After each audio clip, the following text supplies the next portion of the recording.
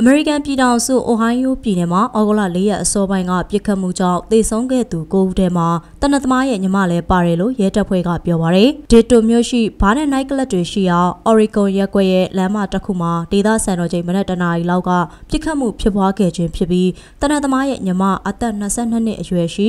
မက်ဂန်ဘတ်အပါအဝင်9ဦးသေဆုံးက28ဦးတရားရခဲ့ပါရယ်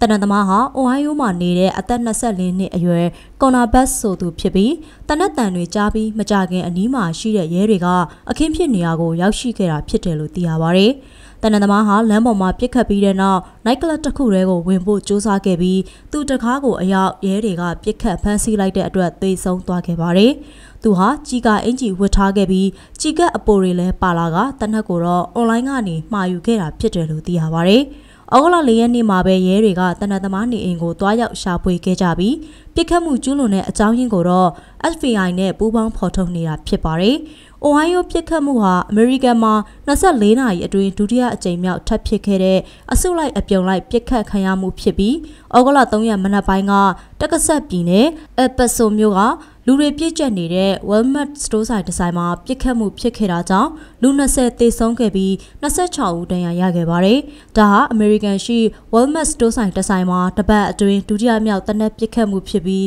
အသက်22နှစ်အရွယ်လူပြူတနက်သမားကိုတော့ရဲတွေကဖမ်းဆီးထားတယ်လို့သိရပါတယ်။